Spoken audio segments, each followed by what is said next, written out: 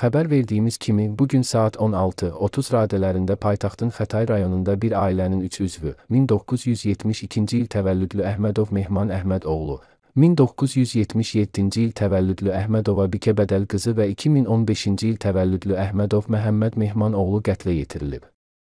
Qaynarinfoya daxil olan məlumata görə qətlə yetirilən Bikə Əhmədova Xətai rayonunda yerləşən 59 nömrəli tam orta məktəbin direktoru olub. Bu barədə Təhsil Nazirliyinin rəsmi saytında da qeyd edilib.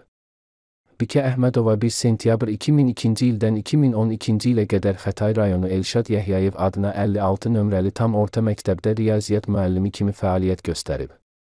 2012-2021-ci ilə qədər Xətai rayonu 138 nömrəli tam orta məktəbdə təlim-tərbiyə işləri üzrə direktor müavini vəzifəsində fəaliyyət göstərib.